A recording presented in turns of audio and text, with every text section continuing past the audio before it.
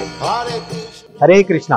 आप सबका राधा मदन मोहन मंदिर में की वेबसाइट पे आपका सबका स्वागत है। हम लोग इस मंदिर में 20 साल से आ रहे हैं और आप सबको निवेदन करते हैं कि आप आए और यहाँ का एटमोसफियर देखें। यहाँ के डीटीज बहुत अच्छे हैं और बहुत एस्पायरिंग हैं और आप सबसे निवेदन है कि यहाँ पे आए और भगवान का दर्शन लें और लाभ लें।